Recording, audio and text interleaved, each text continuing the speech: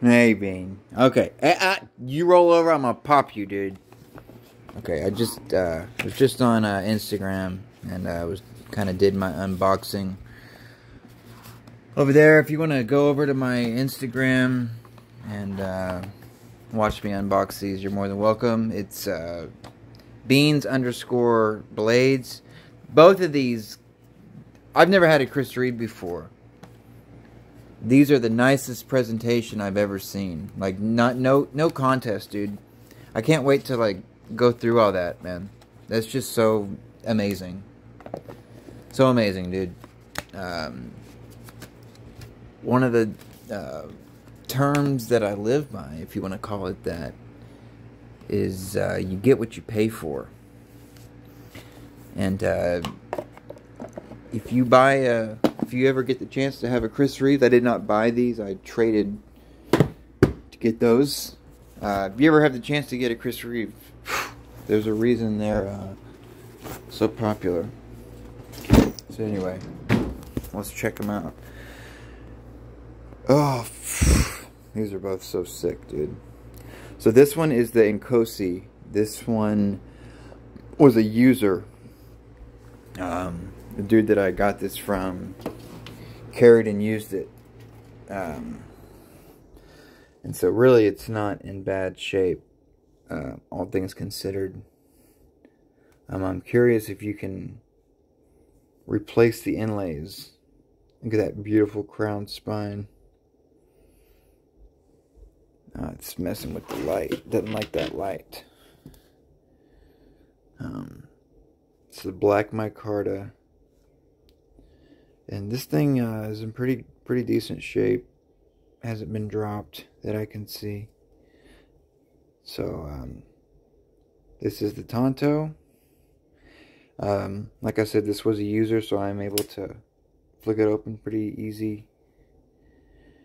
Um,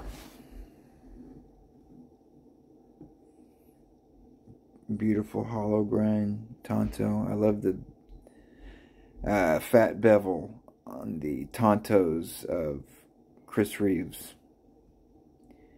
I can kind of tell the use on the tip. You can see it's not, it's got a little tiny nick on it, but that can be fixed. That can be uh, sharpened right up. Uh, let's watch the lockup. Chris Reeve are known for their bank vault. Look at that. That is such a big, thick piece of tie, dude. That's awesome. Gorgeous.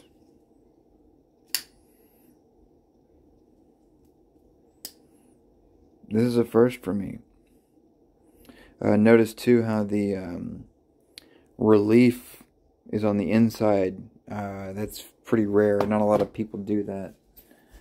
Uh, most relief is um, on the outside for a frame lock. So, I had a knife once. It was a Solid Steelworks guillotine. That's an interesting knife right there. A big, huge knife. It had uh, the same sort of situation. Alright, let's check out the Umnumzaan. This Umnumzaan is uh, like new, from what I can tell. Alright, I just had to pause it to look. I was looking at that pivot and I was like, is that stripped out? Um, it's not stripped. It's just... Um, I don't know how to explain it. That is amazing machinery. That's all I can say. That is very impressive. They did that on both sides. It's rounded at the top, but then it goes down into a, uh, looks like probably a, let's say T10 at least. I'm not sure. I'll check it out later. Um, same thing with the relief. Um, clip I'm not crazy about. I probably will end up uh, replacing that clip. You can see the texture on here. Look at that. Like a sandy texture. Nice thick titanium slabs. Amazing. Kind of sideways fraggy. Gorgeous. Absolutely gorgeous.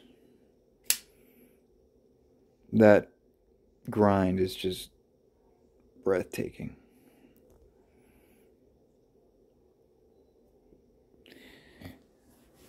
Let's see here. That's so awesome. Yep, John, if you're watching this, dude, I don't know that I'm going to be able to give this one up. This is really... Jesus, look at that. That is intense. Yeah, I'd say it's pretty much like a fixed blade. That is not coming down. They've even got a nice uh, over travel stop protection. Alright, there you have it. Um,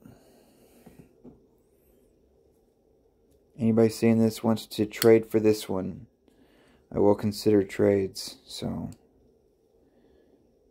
just putting that out there.